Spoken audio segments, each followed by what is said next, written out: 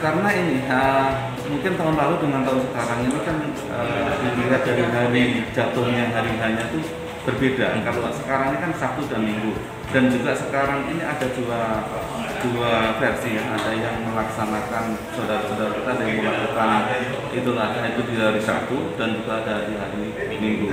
Kalau perakiraan saya malam ini mungkin akan terjadi uh, sedikit kenaikan Medcom.id, a part of Media Group Network.